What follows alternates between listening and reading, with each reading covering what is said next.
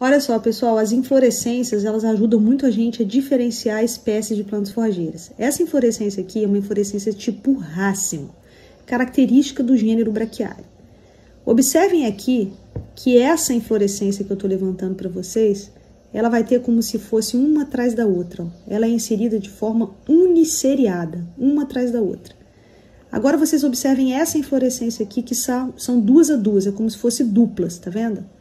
Então, a gente costuma dizer que essa inflorescência aqui é inserida de forma bisseriada e essa daqui de forma uniceriada.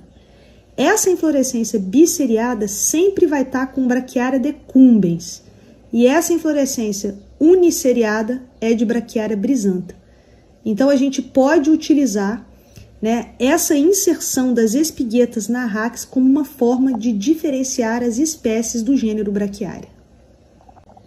Então, braquiária decumbens, ó, ela vai ser inserida alternadamente. Se vocês observem, é como se fosse uma para cada lado, ó. Fica uma para cada lado. A gente fala que ela é inserida, então, bisseriada, inserida alternadamente na rax.